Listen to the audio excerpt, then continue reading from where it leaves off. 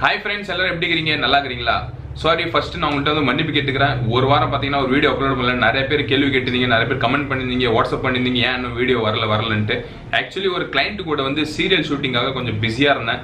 அதனால தான் வந்து ஒரு வீடியோ அப்லோட் பண்ண முடியல. அட்லீஸ்ட் சண்டே கமெண்ட்டாவது போடலான்ட்டு தான் இன்றைக்கி சண்டே கமெண்ட் வந்து போடுறேன் ஸோ இன்னும் ரெண்டு நாள் வந்து நான் ஃப்ரீ ஆகிடும் ஆல்மோஸ்ட் ஸோ வந்து அடுத்தடுத்த வீடியோ கண்டிப்பாக அப்லோட் பண்ணிகிட்டே இருப்பேன். இன்னைக்கு நம்ம சண்டே கமெண்ட் பாக்ஸ் பார்க்க இருக்கிறோம். இன்னைக்கு சண்டே கமெண்ட் பாக்ஸில் நண்பர்கள் நல்ல நல்ல கமெண்ட் கேட்டுக்கிறாங்க. இந்த கமெண்ட்லாம் கண்டிப்பாக உங்களுக்கு பயனுள்ளதாக இருக்க போகுது. அதனால ஒரு ஒரு கமெண்ட்டும் மறக்காமல் மிஸ் பண்ணாத பாருங்கள் இந்த கமெண்ட் கண்டிப்பாக இதில் கிடைக்கிற உங்களுக்கு மெசேஜ் நீங்கள் உங்கள் ஃபிட்னஸ் லைனில் அப்ளை பண்ணீங்கன்னா கண்டிப்பாக நல்ல ரிசல்ட் அச்சீவ் பண்ண முடியும். ஸோ ஃப்ரெண்ட்ஸ் வாங்க நம்ம வீடியோக்குள்ளே போகலாம்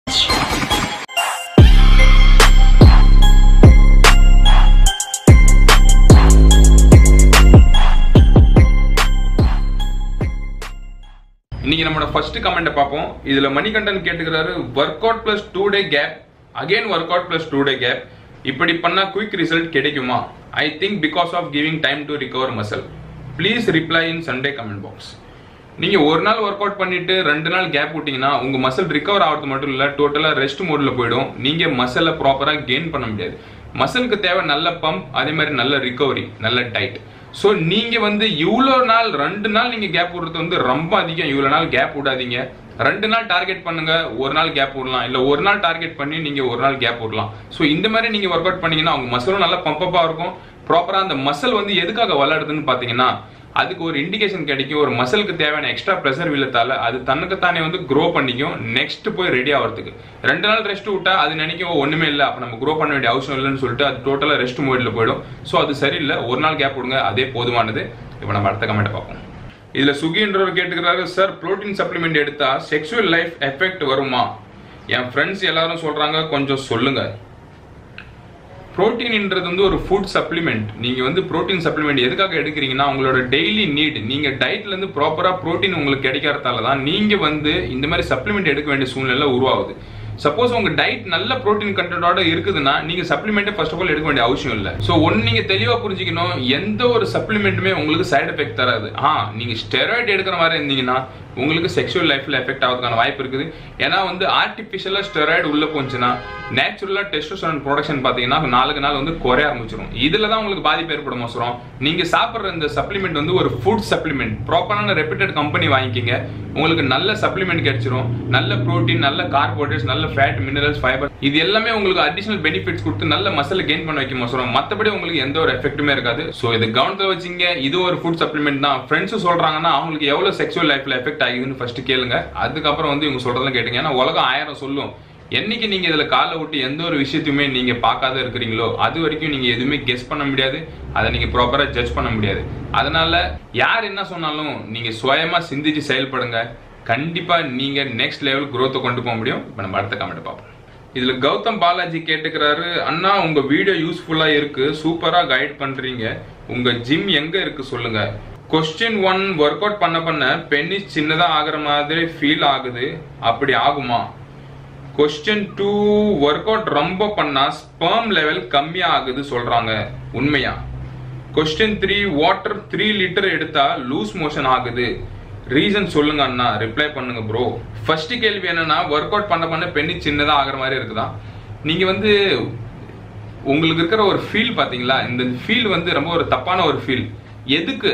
ஏன் நீங்க வந்து ஒரு விஷயத்த கவனமா புரிஞ்சுங்க. இதெல்லாம் வந்து ஒரு மைத்து தான். அடுத்தவங்க வந்து ஆயிரம் சொல்லுவாங்க. எந்த ஒரு ஆக்டிவிட்டியுமே உங்க உடம்புக்கு எல்லா ஆக்டிவிட்டியுமே தேவை. ஸோ நீங்க வந்து ஃபர்ஸ்ட் ஆஃப் ஆல் என்ன புரிஞ்சுக்கணும்னா உங்க ஃபோக்கஸ் உங்க கோல் எதுல இருக்குது அது பண்ணுங்க. நீங்க வந்து கோலை விட்டுட்டு வேற எது மேல கவலைப்பட்டுக்கிட்டே போறீங்க. நீங்க ஒரு விஷயத்தை நோக்கி போனீங்கன்னா அந்த விஷயத்து மேல முழு கவனம் கொடுங்க. இப்படி போனா இப்படி ஆயிடுமோ? அப்படி போனா அப்படி ஆயிடுமோ? அது ஆகுமா? போங்க ஃபர்ஸ்ட் செய்யுங்க என்ன ஆகுதுன்னு அப்புறமா தெரியும். நீங்க வந்து ஆரம்பிக்கிறதுக்கு முன்னாடியே நீங்க இருக்கிற பிரச்சனைகள் எல்லாம் பார்த்துட்டே போனீங்கன்னா நீங்க லைஃப்ல சக்சஸ் ஆகவே முடியாது. ஸோ நீங்க கேட்ட கேள்வி இந்த மாதிரிலாம் ஆகிறதுக்கு வாய்ப்பே இல்லை. உங்களுக்கு அப்படி ஃபீல் வேணா ஆகலாம் பட் அது ஆகிறதுக்கு சாத்தியமே கிடையாது. ஸோ நீங்க தாராளமாக ஒர்க் அவுட் பண்ணலாம் எந்த ஒரு பிரச்சனையும் இல்லை. நெக்ஸ்ட் கேஸ் கொஸ்டின் என்னன்னா நீங்க கேட்டுக்கிறீங்க ஒர்க் அவுட் ரொம்ப பண்ணா ஸ்பெர்ம் லெவல் கம்மியாக ஆகிற சொல்றாங்க உண்மையா? ஒர்க் அவுட்டுக்கும் ஸ்பெர்முக்கும் சம்பந்தமே இல்லை. நீங்க எந்த அளவு நல்லா ஒர்க் அவுட் பண்றீங்களோ உங்களோட ஹார்மோன் லெவல் ஆக்டிவா இருக்கும். ஹார்மோன் லெவல் ஆக்டிவா இருந்துச்சுனாலே நீங்க ஒரு மேன்லி ஃபிசிக் அச்சீவ் பண்ணது மட்டும் இல்லாத உங்க ஆன்மத்தன்மை சுத்தமா குறையவே குறையாது. ஸோ அதனால இதுவும் ஒரு தப்பான ஒரு மைத் அடுத்தவங்க சொல்கிறாங்களா எதுவும் கேட்காதீங்க. ஸோ நார்மலாக நீங்கள் செயல்படுங்க எந்த ஒரு பிரச்சனையும் இல்லை. இப்போ தேர்ட் கேள்வி நீங்கள் மூணு லிட்டர் தண்ணி குடிக்கிறீங்க உங்களுக்கு லூஸ் மோஷன் ஆகுதுன்னா உங்கள் உடம்பு வந்து நேச்சுரலாகவே தண்ணி வந்து நிறைய சேவ் பண்ணுற தன்மையை கொண்டது. ஸோ நீங்கள் குறைவாகவே தண்ணி குடிங்க. எல்லாரும் பாடி டிஃப்ரெண்ட் ஒரு ஒருத்தவங்களுக்கு வந்து அஞ்சு லிட்டர் தண்ணி குடிச்சாலும் பத்தாவது உடம்பு அப்சர்வ் பண்ணிக்கிட்டே இருக்கும். அது தேவையாக ஃப்ளஷ் பண்ணிக்கிட்டே இருக்கும். தேவையானது வந்து வெளியே ஏற்றிக்கிட்டே இருக்கும். பட் உங்கள் பாடி வந்து அந்த மாதிரி இல்லை. ஸோ நீங்கள் ஒரு நாளைக்கு ஒரு லிட்டர் தண்ணி குடிச்சாலே போதுமானது. ஸோ நீங்கள் தாராளமாக இந்த பிரச்சனையில் மீண்டு வரணும்னா இதெல்லாம் புரிஞ்சுக்கிட்டு உங்கள் உடம்பு எப்படி ரெஸ்பாண்ட் பண்ணுதுன்னு பார்த்து நீங்கள் அதை கேல்குலேட் பண்ணிட்டு பண்ணுங்கள் கண்டிப்பாக நீங்கள் நார்மல் லைஃப் ஸ்டைல் வாழ முடியும். அதிகம் கன்ஃபியூஸ் வேணாம். இதெல்லாம் மனசில் வச்சுக்கிட்டு நீங்கள் அடுத்த கோல் நோக்கி போங்க. கண்டிப்பாக நீங்கள் அச்சீவ் பண்ணுவீங்க. இப்போ அடுத்த கமெண்ட் பார்ப்போம். இதில் சசி சூர்யா கேட்டுக்கிறாரு ஒரு டவுட் ஜிம் போய் எந்த மந்த்துக்கு அப்புறம் பவுடர் சாப்பிடணும்? பவுடர்ன்றதுலாம் இந்த டைம் சாப்பிடணும் இந்த டைம் சாப்பிடக்கூடாது அப்படிலாம் ஒன்றும் இல்லை. நீங்கள் ஜிம் ஸ்டார்ட் பண்ணிட்டீங்கன்னா உங்கள் மசிலுக்கு ஃபீடு பண்ண வேண்டியது கம்பல்சரி இது நீங்கள் டயட்லேருந்து ஃபீடு பண்ணணும். ப்ராப்பரான ப்ரோட்டீன் கார்போஹைட்ரேட்ஸ் உங்கள் உடம்புக்கு உங்கள் டயட்லேருந்து கிடைக்குதான்னு பாருங்கள் சப்போஸ் கிடைக்கலன்னா நீங்கள் தாராளமாக சப்ளிமெண்ட் எடுக்கலாம். அது வந்து ரெண்டு மாதம் கழிச்சு எடுக்கணும் மூணு மாதம் கழிச்சு எடுக்கணும் அப்படிலாம் ஒன்றுமே கிடையாது. உங்கள் டயட்லேருந்து அது ப்ராப்பராக கிடைக்குதான்னு பாருங்கள் ஏன்னா நீங்கள் ஒர்க் அவுட் பண்ணுறீங்க உங்கள் மசில் வேர் அண்ட் ஆகும். அது க்ரோத் ஆகிறதுக்கு அதுக்கு ப்ராப்பரான கம்ப்ளீட் மீல் தேவை. With carbohydrates protein and fibre so இந்த மாதிரிலாம் ஒரு பொருள் உள்ள டயட் உங்களுக்கு ப்ராப்பராக கிடைக்கிற மாதிரி இருந்தால் நீங்கள் சப்ளிமெண்ட்டை எப்போ வேணாலும் ஸ்டார்ட் பண்ணலாம். ஒன்றும் பிரச்சனை இல்லை. சப்போஸ் இது கிடைக்கலன்னா நீங்கள் ஜிம் ஸ்டார்ட் பண்ண உடனே கூட அதை ஸ்டார்ட் பண்ணலாம். இதெல்லாம் ஒரு ஃபுட் சப்ளிமெண்ட் நீங்கள் எப்போ வேணாலும் எடுக்கலாம். ஸோ நீங்கள் முடிவு பண்ணீங்க உங்கள் டயட்டில் நல்ல நியூட்ரிஷன் கிடைக்குதான்ட்டு நல்ல நியூட்ரிஷன் இல்லைன்னா நீங்கள் தாராளமாக சப்ளிமெண்ட் ஸ்டார்ட் பண்ணலாம். இப்போ நம்ம அடுத்த கமெண்ட் பார்ப்போம். இதில் Bala கேட்டுக்கிறார் morning cardio evening weight training bro bro நீங்கள் morning cardio evening weight training எதுக்காக பண்ணுறீங்க உங்களோட கோல் என்ன ஃபர்ஸ்ட் முடிவு பண்ணுங்க. சப்போஸ் உங்களுக்கு வந்து ஃபேட் லாஸ் கோலாக இருந்துச்சுன்னா நீங்கள் morning cardio evening weight training தாராளமாக பண்ணலாம். பட் மார்னிங் கார்டியோ பண்ணுறீங்கன்னா ஒரு அரை மணி நேரத்துக்கு மேலே பண்ணக்கூடாது. ஏன்னா நீங்கள் மசில் கெயினும் பண்ணணும். அதனால வந்து எக்ஸ்ட்ரா கார்டியோ பண்ணீங்கன்னா உங்களுக்கு மசில் கெயின் ஆகாது மசில் லாஸ் தான் ஆகும்.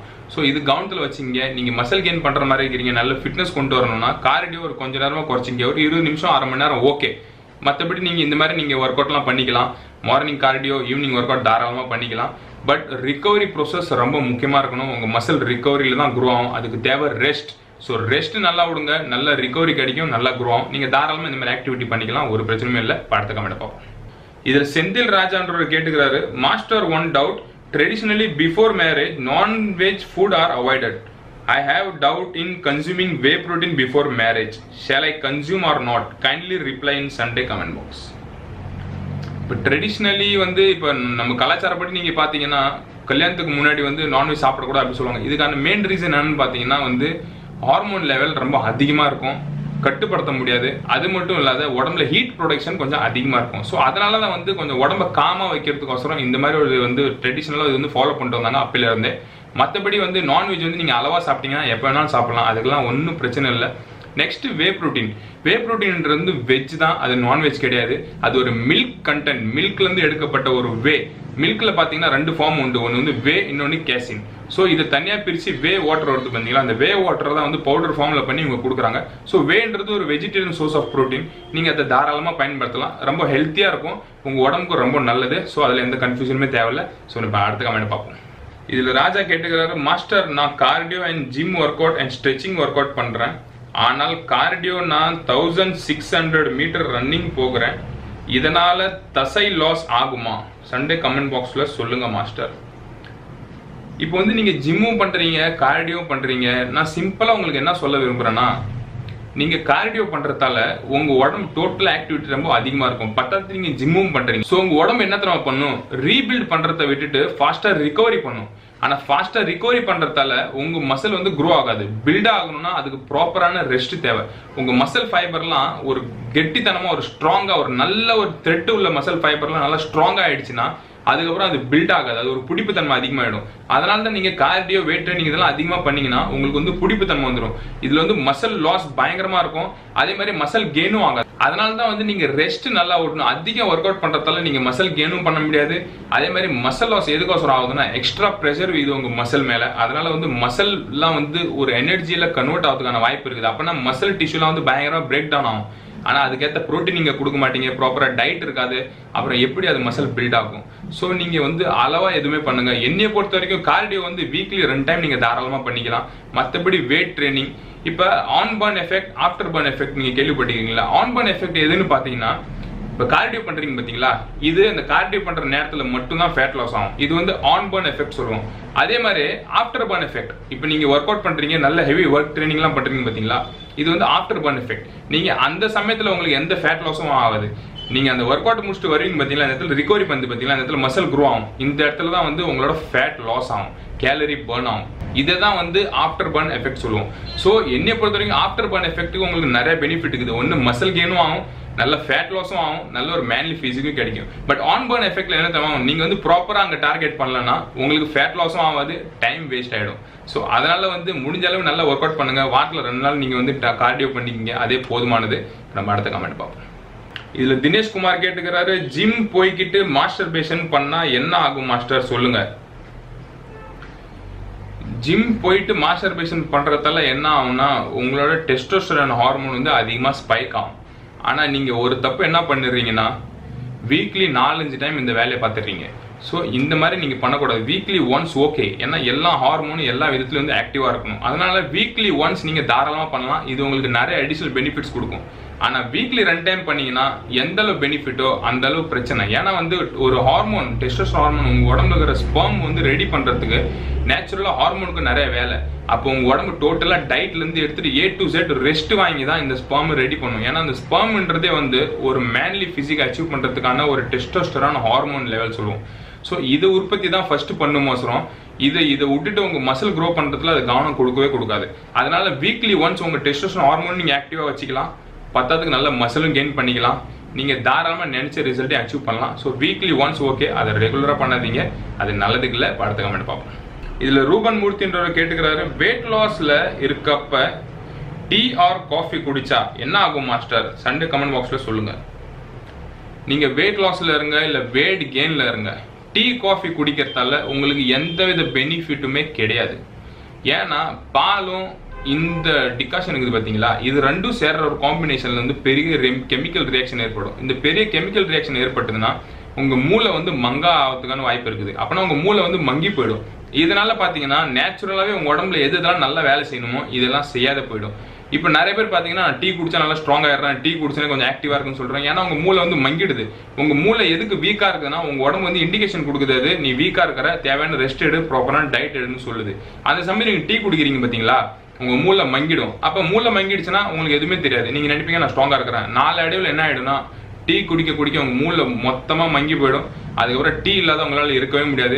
இதால் பார்த்தீங்கன்னா உங்கள் உடம்பு வந்து நேச்சுரலாகவே டேஞ்சர் ஜோனில் போக ஆரம்பிச்சிடும் அப்போ உங்கள் உடம்புல வந்து நாலு அடைவில் ஒரு ஒரு பிரச்சனையாக உருவாகும். நேச்சுரலாக வந்து ஒரு ஒரு செல்ஸும் உங்கள் உடம்பு வந்து ஆக்டிவாக இருக்கணும். ஆனால் இந்த டீ காஃபி நீங்கள் ரெகுலராக குடிச்சிட்டு வந்தீங்கன்னா உங்கள் செல்ஸ் ஆக்டிவாக இருக்கவே இருக்காது. நாலு அடியில் ஒரு செல்ஸ் டேமேஜ் ஆகிடும் ஃபாஸ்ட்டாக ரிகவரி ஆகாது இது மசில் வந்து எடுத்தாலும் சரி சின்ன சின்ன காயம் பட்டாலும் சரி உங்கள் உடம்புல நேச்சுரலாக நீங்கள் வந்து திங்கிங் பவர் இருக்குது பார்த்தீங்களா இது நீங்கள் இழந்துருவீங்க. நீங்கள் ஒர்க் அவுட் பண்ண போகிறீங்க உங்களுக்கு மைண்ட் மசில் கனெக்ஷனை கொண்டு வரணும்னா இந்த மைண்ட் மசில் கனெக்ஷனும் இந்த இடத்துல வந்து பிரேக் ஆகிடும் ஸோ முடிஞ்ச அளவு நீங்கள் வெயிட் லாஸ் பண்ணுங்கள் இல்லை வெயிட் கெயின் பண்ணுங்கள் டீ காஃபியை டோட்டலாக அவாய்ட் பண்ணுங்கள் இது நல்லதுக்கு இல்லை. சப்போஸ் நீங்கள் டீ காஃபி குடிக்கணும்னு விரும்பப்பட்டீங்கன்னா பிளாக் டீ நீங்கள் குடிக்கலாம். பாலும் இந்த டிகாஷனும் ரெண்டு காம்பினேஷன் சேராத மாதிரி நீங்கள் குடிச்சிக்கலாம். காஃபி குடிக்கலாம். அது நீங்கள் ரெகுலராக குடிக்கக்கூடாது. எப்பயாவது ஒரு தடவை நீங்கள் அந்த மாதிரி டைமில் குடிச்சிக்கலாம். இப்போ க்ரீன் டீலாம் நீங்கள் பயன்படுத்தலாம். அதே மாதிரி ஒயிட் டீ வருது. ஒயிட் டீலாம் ரொம்ப சூப்பரான ஒரு டீ டீலே பார்த்தீங்கன்னா டாப்பில் இருக்கிறது வந்து ஒயிட் டீ தான். ஸோ ஒயிட் டீ வந்து அட்லீஸ்ட் டே ஒரு நாளைக்கு ஒரு தடவை குடிக்கலாம்னு பிரச்சனை இல்லை. வாரத்தில் ஒரு தடவை நீங்கள் எடுத்துங்க ஒயிட் டீ வெறும் தண்ணி கலந்து அதில் லெமன் மிக்ஸ் பண்ணி நீங்கள் குடிங்க. இது நேச்சுரலாக வந்து உங்கள் உடம்புல appetite நல்லா இன்க்ரீஸ் பண்ண வைக்க மெட்டபாலிக் பவரும் நல்லா இன்க்ரீஸ் பண்ணும். இதெல்லாம் வந்து உங்களுக்கு பெனிஃபிட் தரும் மோசரம். இந்த டீ பால் கலந்த டீ வந்து டைரெக்டாக பிரெயின் எஃபெக்ட் பண்ணும். இதுவும் ஒரு விதமான ஆல்கோஹால் தான். இதுவும் ஒரு விதமான போதை தான். இது உங்களுக்கு தேவையில்லை. இப்போ நம்ம அடுத்த கமெண்ட் பார்ப்போம். இதில் நாகராஜன் கேட்டுக்கிறாரு சார் பனானா சாப்பிட்டா weight gain ஆகும்னு சொல்கிறாங்க எந்த பனானா பெஸ்ட் இப்போ பனானான்றது வந்து ஒரு கார்போஹைட்ரேட்ஸ் ஃபுட் இப்போ இந்த கார்போஹைட்ரேட்ஸ் ஃபுட்டை நீங்க வெயிட் கெயினுக்கும் யூஸ் பண்ணலாம் வெயிட் லாஸ்க்கும் யூஸ் பண்ணலாம். இது எப்படின்னா நீங்க அதிகமா எடுக்கிறதால அதிகம் கேலரி உள்ள போகும். அதிக கேலரி உள்ள போச்சுன்னா உங்களுக்கு வந்து வெயிட் கெயின் ஆகும். இது நீங்க அளவா எடுத்தீங்கன்னா ஒரு ப்ராப்பர் நியூட்ரியன்ஸ் கிடைக்கும். உங்களுக்கு வெயிட் லாஸ் பண்றதுக்கு ஹெல்ப் பண்ணும். ஸோ இந்த டிஃபரன்ஸ் தான் நீங்க புரிஞ்சுக்கணும். இப்போ வாழைப்பழம் எடுத்துட்டீங்கன்னா நல்ல வாழைப்பழம் பெஸ்ட் அண்ட் பெஸ்ட் வாழைப்பழம் சொன்னா கிரீன் பனானா அப்படின்னா பச்சை நாட வாழைப்பழம் சொல்லுவோம் பார்த்தீங்களா அது பச்சை நாட வாழைப்பழம். ஆனால் இன்னைக்கு வர பச்சை நாடா வாழைப்பழம் அது கிடையாது. இன்னைக்கு மஞ்சள் கலரில் வருது இது வந்து ஹைபிரிட் இது கிடையாது பச்சை கலர்லேயே இருக்கும். இந்த ப- அது பழுத்தாலும் சரி அது பச்சை கலர்ல தான் இருக்கும். இந்த வாழைப்பழம் தான் வந்து பெஸ்ட் வாழைப்பழம். அதுக்கப்புறம் நீங்க பாத்தீங்கன்னா நம்ம செவ்வாழை இது பெஸ்ட் நெக்ஸ்ட் வந்து பாத்தீங்கன்னா நேந்திரம் பழம் கேரளா பழம் சொல்லுவோம் பாத்தீங்களா? அந்த நேந்திர பழம் பெஸ்ட் அதுக்கப்புறம் பாத்தீங்கன்னா நம்ம நாட்டு பழம். இப்போ இந்த நாட்டு பழம் வந்து நிறைய வகரா இருக்குது. இது எல்லாமே பாத்தீங்கன்னா உங்களுக்கு நல்ல ஒரு சப்போர்ட்டிவ் நல்ல ஒரு ஏன்னா இதுல வந்து இனிப்பு தன்மை கொஞ்சம் அதிகமா இருக்கிறதால தான் இது லாஸ்ட்ல இருக்குது. மத்தபடி வேற ஒன்றும் கிடையாது. மத்தபடி இதுலயும் ஒரு நல்ல நியூட்ரியன்ஸ் ஸோ சூப்பரான ஒரு பனானா நீங்க நல்லா கெயின் பண்ணும் மசில் கெயின் பண்ணும் வெயிட் லாஸ் பண்ணும் சொன்னா நீங்க எந்த பனானா வேணாலும் எடுக்கலாம். கொஞ்சம் எக்ஸ்ட்ரா கேலரி போடணும்னா நீங்க வந்து நேந்திரம் பழம் எடுத்துங்க. இப்போ உங்களுக்கு கான்ஸ்டிபேஷன் ப்ராப்ளம்லாம் இருக்குது உடம்பு கொஞ்சம் ஆரோக்கியமா வேணும்னா நீங்க செவ்வாழை பழத்தை எடுத்துங்க. நார்மலா நீங்க வெயிட் கெயின் பண்ணணும் நல்லா சைஸ் கொண்டு நம்ம நாட்டு பழம் மஞ்சள் வாழைப்பழம் நம்ம நாட்டு பழமே எடுத்துங்க. சின்ன சின்ன வாழைப்பழம் வரும் பாத்தீங்களா? இதே சூப்பரான ஒரு வாழைப்பழம். இது நீங்க தாராளமா இது நீங்க பயன்படுத்தலாம். இதில் நீங்க பயன்படுத்தக்கூடாத வாழைப்பழம் எதுன்னு பாத்தீங்கன்னா இப்ப கிடைக்கிற பச்சை நாட வாழைப்பழம் மாதிரி மஞ்சள் கலர்ல கிடைக்குது பாத்தீங்களா? இது மட்டும் பயன்படுத்தாதாங்க. அதே போதுமானது. இப்போ அடுத்த கமெண்ட் பார்ப்போம். இதுல பெனித் என்ஸ்டன் கேட்டுக்கிறாரு is it good to take whey with milk 30 minutes before workout. What is the difference between taking whey with water and with milk? I work out in the evening, need your help அண்ணா இப்போ whey பார்த்தீங்கன்னா நீங்கள் பால் கூடயும் எடுக்கலாம் தண்ணி கூட எடுக்கலாம். பால் கூட எடுக்கிறதால ஸ்லோ டைஜஷன் ஆகும். தண்ணி கூட எடுக்கிறதால ஃபாஸ்ட் டைஜஷன் ஆகும் ஃபாஸ்ட் அப்சர்ப்ஷன் ஆகும். அதனால தான் நீங்கள் வந்து post workout whey protein எடுக்கிறீங்கன்னா நீங்கள் வந்து தண்ணியில் தான் எடுக்கணும். ஒரு ரெண்டு கரண்டி குளுக்கோண்டி ஆட் பண்ணீங்க. இன்னும் இன்சுலின் ஸ்பேக்காகவும் நல்ல அப்சர்ப்ஷன் இருக்கும் மசில்ஸ்லாம் போய் சேரும். சப்போஸ் உங்களுக்கு வந்து டைம் கிடைக்கல. இப்போ போஸ்ட் ஒர்க் அவுட் நீங்க ஈவினிங் பண்றீங்க போஸ்ட் ஒர்க் அவுட் டின்னர் பண்ண போறீங்க அந்த டைம்ல வே ப்ரோட்டீன் எடுக்கிறதுக்கு பெட்டர் நீங்க வந்து ப்ரீ ஒர்க் அவுட் எடுத்துக்கலாம். ஒர்க் அவுட்டுக்கு ஒரு மணி நேரத்துக்கு முன்னாடி நீங்க பாலில் கலந்து எடுத்துக்கலாம். நீங்க பாலில் கலக்கிறதால அதுல இருக்கிற கேசின் கண்டென்ட் இந்த வேவை வந்து ஸ்லோவா டைஜஸ்ட் பண்ணுறதுக்கு ஹெல்ப் பண்ணும். அப்போ ஸ்லோவா இது மசிலுக்கும் ஃபீடு பண்ணிக்கிட்டு இருக்கும். உங்களுக்கு வந்து நல்ல ரிசல்ட் கிடைக்கும். இதுதான் டிஃப்ரென்ஸ் வேற ஒன்றும் டிஃப்ரென்ஸ் இல்லை. நீங்கள் தாராளமாக நீங்கள் எந்த டைமில் பயன்படுத்திங்களோ அதுக்கு ஏற்ற மாதிரி நீங்க எடுத்துக்கலாம். சப்போஸ் பிஃபோர் பெட் நீங்கள் எடுக்கணும்னு விருப்பப்பட்டீங்கன்னா பால் கூட கலந்து நீங்கள் தாராளமாக எடுத்துக்கலாம். அதே மாதிரி இது நீங்கள் பிஃபோர் பெட்டும் எடுத்துக்கலாம். பிஃபோர் பெட்டில் வந்து ஒரு நூறு கிராம் தயிர் எடுத்துங்க. நூறு கிராம் தயிர்ல இது ஒரு ஸ்கூப் கலந்து நல்லா மிக்ஸ் பண்ணி சாப்பிட்டுட்டு நீங்கள் வந்து படுத்துக்கலாம் பிஃபோர் பெட் இது ஸ்லோவாக டைஜன் ஆயிட்டே இருக்கும். கண்டினியூ மசிலுக்கு ஃபீடிங் பண்ணிட்டே இருக்கும். நல்ல ஒரு ப்ரோட்டீன் சிந்தசிஸை இன்க்ரீஸ் பண்ணும். கண்டினியூவாக ஃபீட்டிங் பண்ணிட்டே இருக்கிறதால இது ஒரு கேசின் ப்ரோட்டீனாக வந்து வேலை செய்யும். உங்களுக்கு மசிலுக்கு நல்ல வந்து க்ரோத் இருக்கும் நல்ல ரிகவரி பண்ணுறதுக்கும் ஹெல்ப் பண்ணும். ஸோ இந்த மாதிரி நீங்கள் வேவை எப்படி பயன்படுத்தணும் நீங்கள் கேல்குலேட் பண்ணி அதை நீங்கள் பயன்படுத்திங்க. நல்ல ரிசல்ட் நீங்கள் அச்சீவ் பண்ணுவீங்க. ஸோ ஃப்ரெண்ட்ஸ் இன்னைக்கு இந்த கமெண்ட்லாம் கண்டிப்பாக உங்களுக்கு பயனுள்ளதாக இருந்திருக்கும் நம்புறேன். இந்த கமெண்ட் உங்கள் ஃபிட்னஸ் லைனில் கண்டிப்பாக நீங்கள் அப்ளை பண்ணுங்கள் அப்போ தான் நீங்கள் நல்ல ரிசல்ட் அச்சீவ் பண்ணுவீங்க. ஒரு ஒரு கமெண்ட்டும் கண்டிப்பாக உங்களுக்கு இன்னைக்கு நாளைக்கு உதவ போகுது. பட் ஞாபகம் வச்சிங்க அதான் ரொம்ப முக்கியம்.